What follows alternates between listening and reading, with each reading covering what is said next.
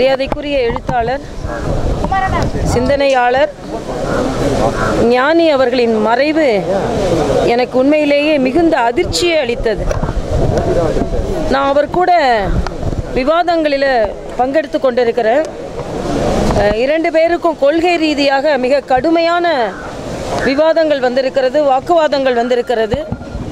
ஆனால் இடைப்பட்ட நேரத்தில் எந்த நேரத்திலும் அவர் அந்த ஒரு மாற்றுக் கருத்தை வலியுறுத்தி தொலைக்காட்சியில் பேசினாலும் இடைப்பட்ட நேரத்தில் ஒரு சிறந்த நட்புறவை ஒரு உறவை பாராட்டக்கூடிய ஒரு மாமனிதர் மிகுந்த அன்பாக பழகக்கூடியவர். தான் நினைத்த கருத்துக்களை வேகமாக எடுத்துச் சொன்னாலும் பழகுவதில் ஒரு விவேகம் இருக்கும். எந்த விதத்திலும் காழ்ப்புணர்ச்சியை அவர் காண்பித்ததே இல்லை. நம்மிடம் காப்புணர்ச்சியோடு தான் நடந்து கொள்வார். ஆக அப்படிப்பட்ட ஒரு சகோதரரை இழந்திருக்கிறோம் என்று நினைக்கும் பொழுது மனதிற்கு மிகுந்த வருத்தமாக இருக்கிறது. அவர் சிறுநீரக நோயினால் பாதிக்கப்பட்டிருக்கிறார் என்று எனக்கு தெரியும். அவரை பார்க்கும் போதெல்லாம் நான் சொல்லுவேன்.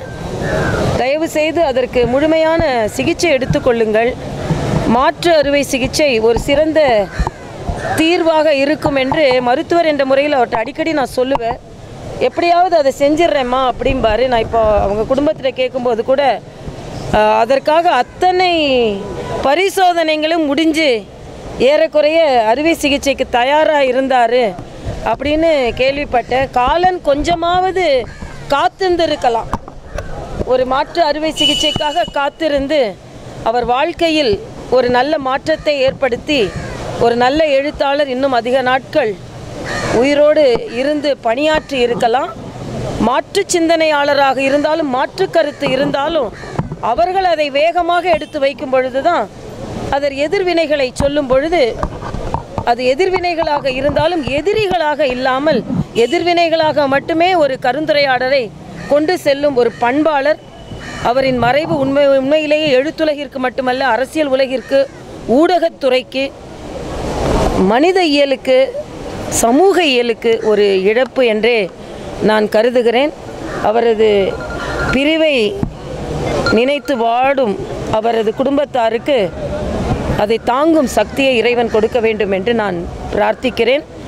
ஒரு நல்ல எழுத்தியலை நாகரிகமான எழுத்தியலை ஊக்குவிப்பது தான் அவருக்கு செலுத்தும் அஞ்சலியாக இருக்கும் என்று நான் நினைக்கிறேன்.